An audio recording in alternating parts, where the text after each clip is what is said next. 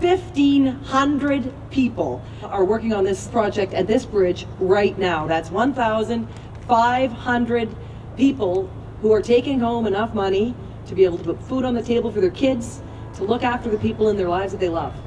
And I really want to salute all the workers and their families who are here today. You've reached the halfway point in building this magnificent structure. And it's a huge opportunity because you are not just building a bridge, you are building a province. And it is also going to mean something real different for families. It could mean up to an hour more every day because they won't have the long commute that they used to have. That's a real difference that you're making in very real people's lives.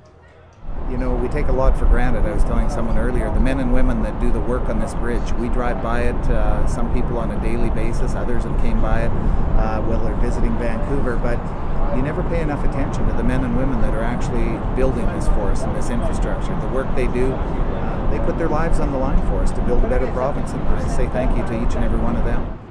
So this is a great point of pride for I know all of you, and I am absolutely delighted to be able to share in it with you here today. And I look forward to coming here next year and see you all again when this bridge is finished.